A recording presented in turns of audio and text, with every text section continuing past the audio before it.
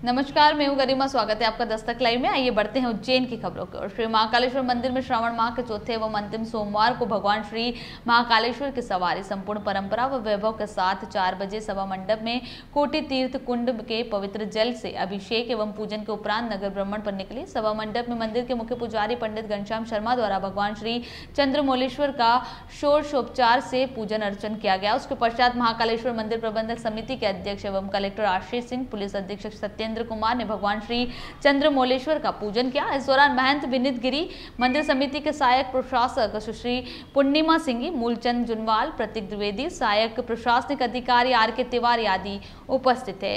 पूजन के दौरान सभा, मंडप, भगवान की श्री महाकाल के जयकारों व जाँच मंजीरों की ध्वनि से गुंजित हो उठा व बाबा के जयकारों के साथ सभी गणमान्यों ने पालकी में विराजित श्री चंद्रमौलेश्वर को नगर भ्रमण की ओर रवाना किया। जैसे ही पालकी मुख्य द्वार पर पहुँची, होमगार्ड पुलिस एवं एसएफ के जवानों द्वारा भगवान को सलामी दी गई। सवारी में श्री चंद्रमौलेश्वर पालकी में व श्री मनमहेश हाथी पर सवार होकर अपनी प्रजा का हाल जानने नगर भ्रमण पर निकले।